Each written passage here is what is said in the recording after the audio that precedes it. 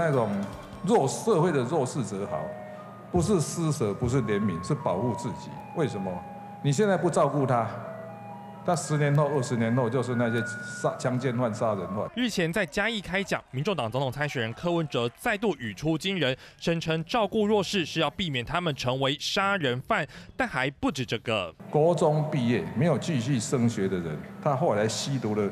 机会是九十九倍，啊，后来我就把全部把它列管。就连高中职卫生学也是潜在吸毒者，甚至是未来的杀人犯，完全忽视没升学背后的各种因素。柯文哲这席话立刻引发批评，有网友就说国中毕业就等于毒虫，这人骨子里就是满满歧视，不读书就警察列管，到底活在什么年代？还有人开酸，这些人不是前阵子才来帮柯党充人气？柯前市长。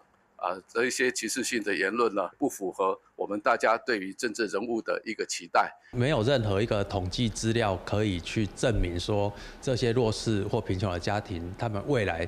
变成杀人犯或者是强奸犯的比例是会比较高，这是一个非常严重的标签。这其实是一百年前的社会福利思维。社福团体也出面痛斥柯文哲，强调照顾弱势目的并不是避免犯罪，而是要创造更健康的社会劳动力。赖清德近半高分被开枪，他把弱势跟犯罪画上等号，那这个是非常歧视人的行为。那我想柯文哲应该要为此道歉。柯文哲主席要强调的是社会安全网的建立，呼吁大家多多关心他。人放下冷漠。面对质疑，科办赶紧缓颊。柯文哲是要呼吁关心他人，但这句话似乎跟科办说法感受不太一样。不是施舍，不是怜悯，是保护自己。三重黄燕姐热播台北参谋道。